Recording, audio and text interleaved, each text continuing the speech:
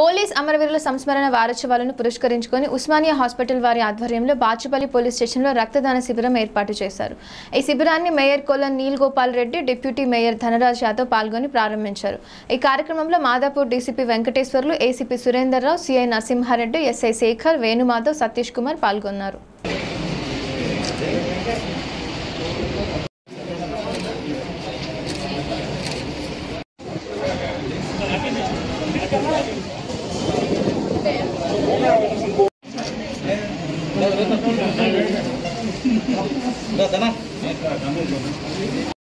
ఈరోజు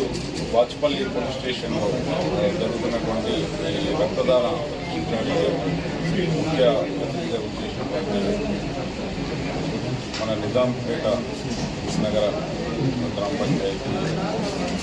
municipal corporation మన mayor అయినటువంటి గారు తర్వాత ఈ ఇంత చక్కటి కార్యక్రమాన్ని మనకు ఏర్పాటు చేసి చాలా మంది రక్తాన్ని రక్తాన్ని దానం చేస్తున్నారు మేము ఒక వంద నుంచి నూట యాభై మంది వరకు ఈ రక్తాన్ని దానం చేసి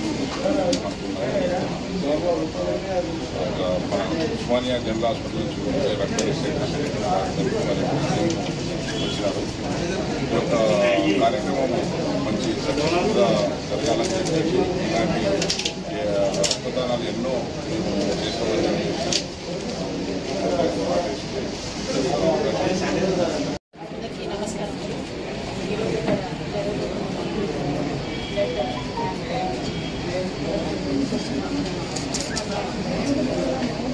బ్లడ్ తెలుసుకోండి